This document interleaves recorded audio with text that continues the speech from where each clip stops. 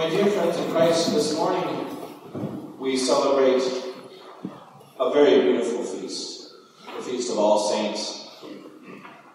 We are given to see for ourselves, as it were, this kaleidoscope of the virtues that can be practiced. It's as if God were the light, which He is, the light of the world. And the lives of the saints is like a prism which disperses that light into many different colors. That we can see for even for our own enjoyment, but most especially for our edification, for our as an example for us to follow. As we know, the calendar is full of many saints. We each have our own favorite saints. Many saints that are very well known. But there are those that are perhaps unknown, that do not have a place in the calendar. And thus today's feast, we celebrate all those holy men and women that made it to heaven. We have to consider, and I believe that this is one of the great lessons that we can take from this Feast of All Saints. We have to think to ourselves will I one day be included in today's feast? Will this be my feast day? November 1st, the Feast of All Saints. Because it is a matter of fact that God has called every one of us. This is our vocation to become a saint. We see in the lives of the saints every type of person. Men and women of every temperament, from every walk of life.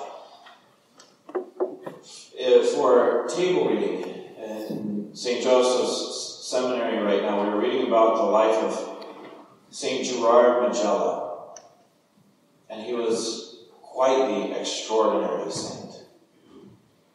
He was, some of his biographers say, more of an angel than a man. It was never witnessed by anyone that he committed even a venial sin. His life was so perfect. His life was so full of miracles, astounding things. And there are saints, very much like St. Gerard, who it was God's pleasure to do incredible things through them. But we have to take a look at another saint or, or group of saints that were very, very dear to our Lord. He chose them specifically, these were the apostles. These simple, humble fishermen of Galilee. They were so backwards sometimes. They were so weak sometimes. St. Peter, we know how he denied our Lord three times. Yet these were his apostles, some of the greatest saints, the pillars of the church. And we can find examples like the apostles throughout all of history, where God has chosen the weak and the foolish to confound the proud. And this is an encouraging thought.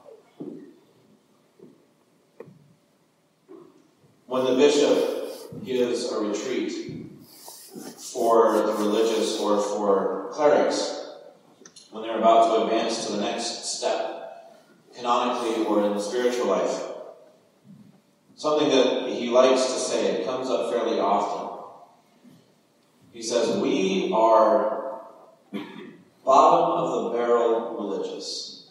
That God has, as it were, scraped the very bottom of the barrel, the dregs, and somehow He came up with us. Nevertheless, He did come up with us. We ought to think of ourselves in this light.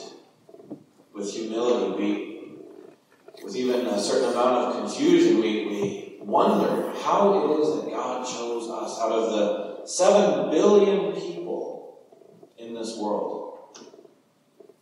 How is it that God gave the true faith to us? How is it that we have the privilege to approach Him in the tabernacle, to approach Him at the communion rail? Nevertheless, He did. He chose us. So, will we take advantage of His call? Will we do as the saints throughout all of history have done? Overcome themselves, take advantage of these graces that God has given us. There is a slogan of a company. Unfortunately, the company is, is a very liberal, bad company. But the slogan for Nike sports apparel says, just do it. And this is actually a pretty powerful saying. How many of us have started a new year with a New Year's resolution? Something to improve our lives and so often we find that there's really no secret to success. The only secret is just doing it. It would probably be even better to quote St. Thomas Aquinas. He was asked on his deathbed, how do you how do you become a saint? What is the secret? He gave two tiny little words will it. Make it happen. That is to say, there is no secret, there's no formula necessarily. The church teaches us how, but from within ourselves, the only answer is to will it. Make it happen. This is what the saints did. So, my dear friends in Christ, let us use this feast to find courage, to become more excited about the spiritual life. We are doing something here that is amazing. If we do it right, November 1st, every year, will be our feast day. Let us go to our Blessed Mother, the Queen of all saints. Ask her for the help that we need.